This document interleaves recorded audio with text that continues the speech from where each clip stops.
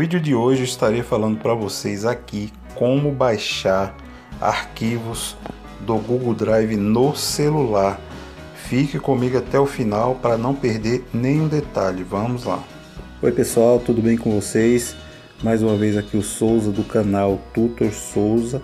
Já quero pedir a vocês para deixarem um like aí se inscreva também e ative o sininho de notificações para estar recebendo sempre os novos vídeos, ok? Me sigam também no Instagram do nicho de emagrecimento e vamos ao vídeo.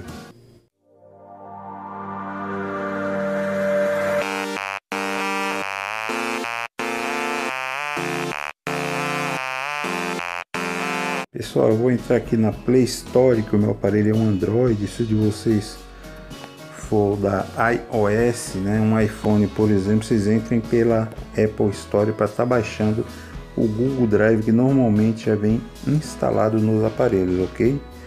Então vamos lá, eu vou escrever aqui Google e vou colocar Drive. Já apareceu o cara aqui, né? O meu está instalado, né? Se tivesse para atualizar, eu teria que atualizar, que é bom sempre estar tá atualizando se o de vocês é, tiverem desatualizados, vocês atualizem. É bom sempre estar atualizando, ok? Pessoal, a primeira coisa que nós devemos fazer é clicar em cima do Google Drive. Se o meu não tivesse logado, ia pedir senha, né? No caso de vocês, se não tiver logado, é, vocês entram com e-mail aí, senha, ok? O meu já está logado aqui, ó, em cima, letra J, ok? É a primeira coisa, igual no vídeo anterior, você vai clicar nos três tracinhos, né? Você vai vir aqui em configurações. Você vai descer aqui e olhar se tá, se tá ativado esse botão aqui azul. Eu vou eu vou tirar porque eu tô sem Wi-Fi, né? Eu vou tirar aqui. OK? Mas deixem ativado esse botão, porque deixando ativado evitará o consumo dos dados, dos seus dados, OK? Eu vou baixar aqui um arquivo. Vou voltar aqui de novo.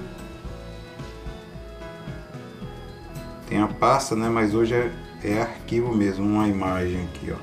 Você vem aqui nesses três pontinhos e você faz o download para o seu aparelho. Pode ver, ó. será sendo feito informações tal. E aqui, ó, pode ver que já está.